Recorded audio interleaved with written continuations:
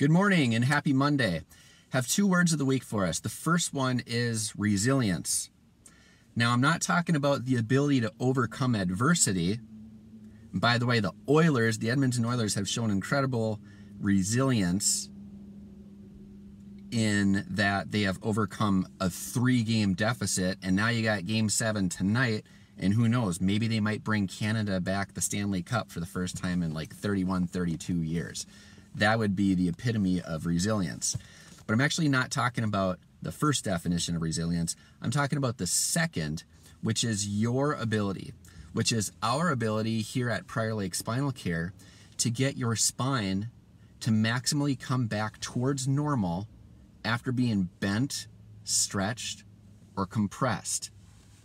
Remember, the spine is not a column, so when it goes out, it doesn't go out like a stack of blocks it actually unravels.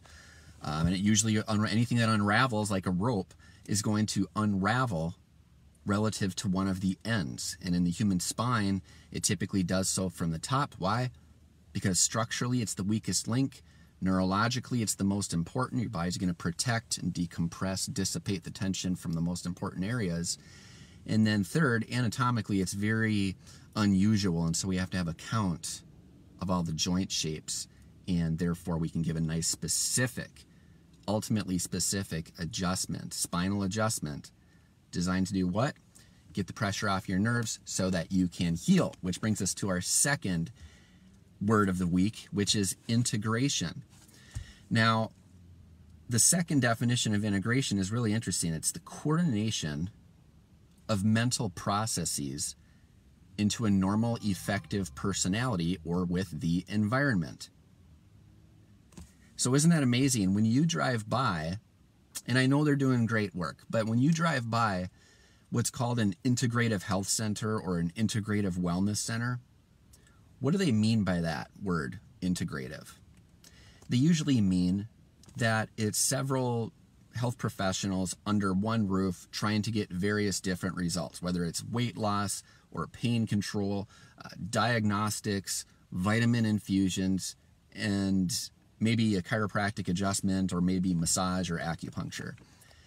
But based on this definition, I ask is integration an outside in phenomenon or is it an inside out, or as we like to say, an above down, inside out phenomenon?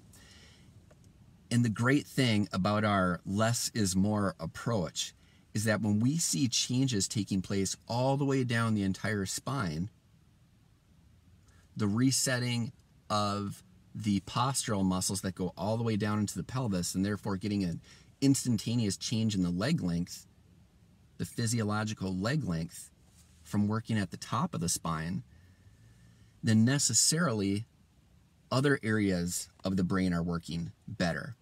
Just like a light switch with flip certain light switches and it can turn on one, two, three, four, or more lights depending on how the electrician wired it in the first place.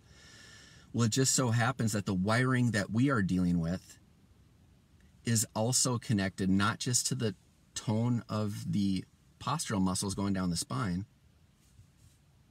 but also the critical thinking part of the brain, the hippocampus, our body's neurohormonal support center, which is the hypothalamus, sleep and energy mainly, as well as our amygdala, which has everything to do with handling stress and adapting appropriately. So, those integrative factors of the mind, the various mental processes, are our ability to reason, intuit, perceive reality correctly in real time, our ability to tap into our own willpower, our ability to imagine, and our ability to call on our memory at will. And it's the coordination of all of those mental processes that is integration. So, integration, an above down, inside out process, thanks to the resilience in your spine. How can you apply these two words this week for maximal benefit and efficiency this week? Have a wonderful week and thanks for watching. Prior Lake Spinal Care, the greatest show on earth.